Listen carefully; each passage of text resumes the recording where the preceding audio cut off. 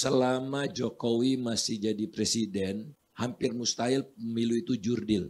Hampir, Hampir mustahil. mustahil jurdil. Ya, sebetulnya mustahil Karena tapi ada takut- anaknya sendiri. Hmm, Ada anaknya.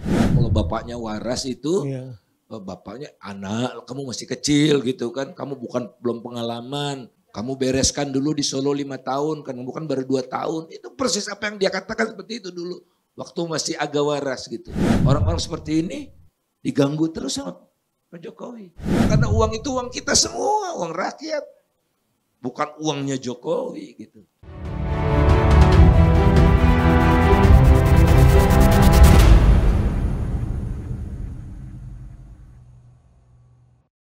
Tentang isu mundurnya menteri ini, ini seru nih Pak. Gimana tuh Pak sampai sekarang perkembangannya? Nah ceritanya gini, eh, selama Jokowi masih jadi presiden, hampir mustahil pemilu itu jurdil. Hampir, Hampir mustahil. mustahil Ya, jurdil. sebetulnya mustahil Karena tapi ada takut- anaknya sendiri, Hmm, ada anaknya. hmm, Dan anaknya itu proyek dia, bukannya Gibran yang mau gitu. hmm. Ya kalau mau ya bapaknya, kalau bapaknya waras itu, Iya. eh, bapaknya anak, kamu masih kecil gitu kan, kamu bukan belum pengalaman, kamu bereskan dulu di Solo lima tahun kan, bukan baru dua tahun. Itu persis apa yang dia katakan seperti itu dulu, waktu masih agak waras gitu. Hmm. Nah, jadi ini proyek dia gitu. Eh, Nah oleh karena itulah maka eh eh, nggak benar nih cara-cara begini. Oleh karena itulah kita eh eh, yakin benar kalau dia masuknya udah masuk nggak benar gitu. Tapi dia akan akan menang kan dia akan melakukan kerusak- kerusakan terus, Iya. Pak Ustadz. Nah kita sekarang mencoba kalangan masyarakat sipil itu ada kawal pemilu, ada monitor pemilu macam-macam, ada Bang Ferry Amsari, ada eh, Kang Eri Riana, ada eh, eh, eh, teman-teman yang lain lah, eh, Hadar Gumai gitu, itu, itu bikin sistem untuk memonitor. Tapi masif sekali intervensi yang dilakukan oleh aparat ini, ya Bawaslu-nya mereka kuasai, KPU-nya mereka kuasai, KPUD-nya mereka kuasai, Mahkamah Konstitusinya kalau ada apa-apa kan ke Mahkamah Konstitusi, jadi udah lima-lima kelihatannya. Jadi bisa rada susah kan, eh empat-empat. Karena pamannya kan nggak boleh Hmm, iya. ikut Hmm. sesuai dengan MK-MK itu. Dari sembilan ya. Nah, Jadi kemungkinannya eh, besar sekali kalau eh, kalau kalau misalnya kita dispute, kita keberatan dibawa ke Mahkamah Konstitusi ya kita kecele lagi gitu. Hmm. Nah oleh karena itulah maka harus ada upaya untuk memastikan Jokowi itu tidak cawe-cawe dengan upaya apa pemakzulan karena eh, eh, alasannya sudah banyak pemakzulan itu. Nah tapi pemakzulan, pemakzulan itu perlu waktu kan. Hmm. DPR 2 per 3. Ya, 2 per 3. Kemudian dibawa ke Mahkamah Konstitusi. Mahkamah Konstitusi juga udah di obak abrik. Kemudian Mahkamah Konstitusi dibawa lagi ke MPR. Prosesnya lama, paling cepat April. Nah ini kalau dia udah kadung menang gimana? Susah kan?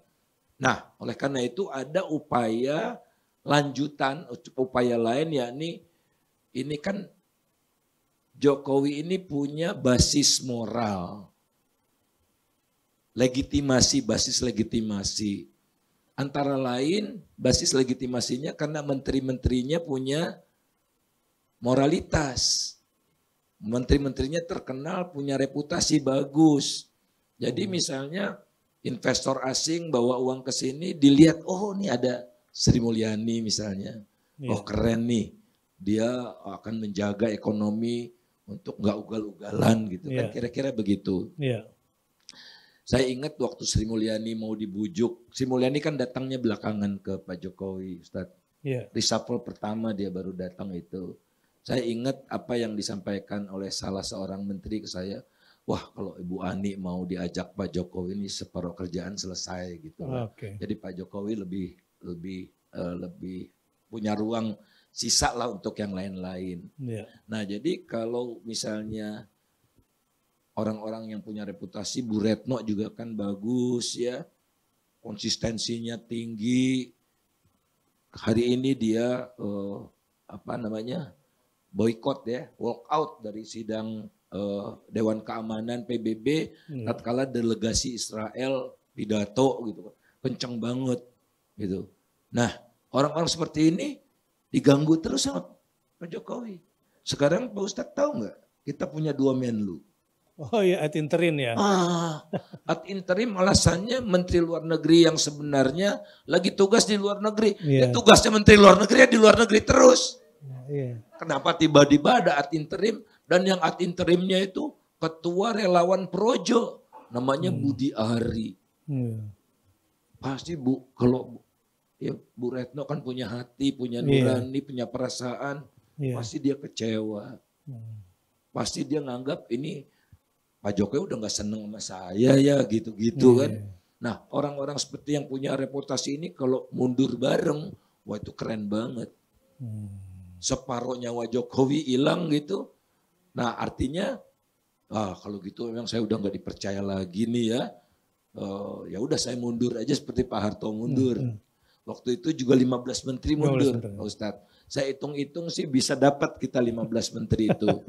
Asalkan partai-partai yang sudah berseberangan dengan Jokowi mundur dong, kan udah Iya. berseberangan. Gimana sih?